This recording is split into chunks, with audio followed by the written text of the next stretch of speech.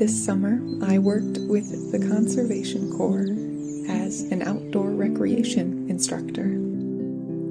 We traveled to state parks all over Minnesota, leading workshops on camping, backpacking, and paddling. We supplied participants with all the gear they needed. Kayaking was one of my favorites. One day, Grace and I explored Sakatah Lake and saw a huge flock of cormorants nesting on an island.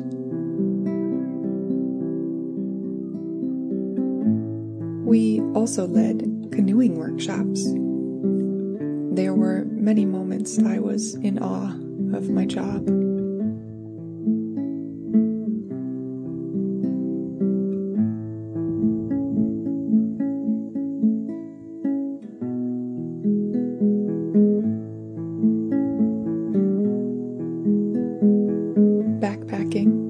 Less frequent.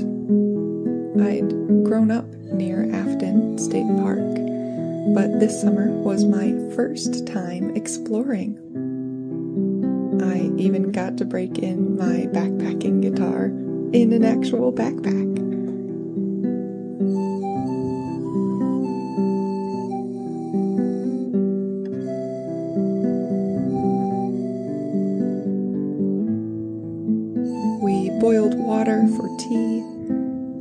Freeze dried meals, and enjoyed the quiet life around us.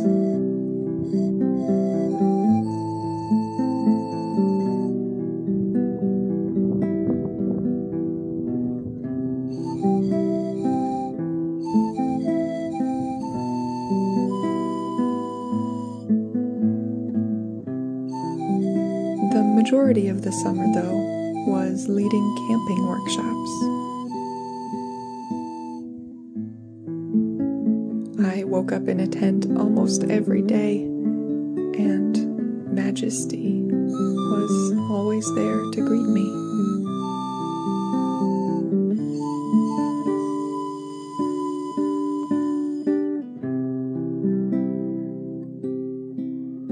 We received a stipend for food and cooked some truly scrumptious dishes out in the woods. The summer was particularly dry, but a couple weekends brought rain. A well fashioned tarp provided nice shelter for when we had to leave our cozy tents.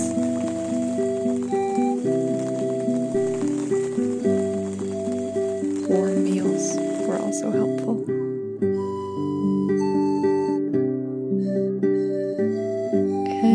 Some days we couldn't help but go play in the water.